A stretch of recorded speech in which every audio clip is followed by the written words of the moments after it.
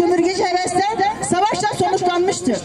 Savaşa hayır, barış hemen şimdi. Savaşa hayır, barış hemen şimdi. Savaşa hayır, barış hemen şimdi. Ne yazık ki tüm savaşlarda olduğu gibi en büyük bedeli ezilenler, emekçiler ödemektedir.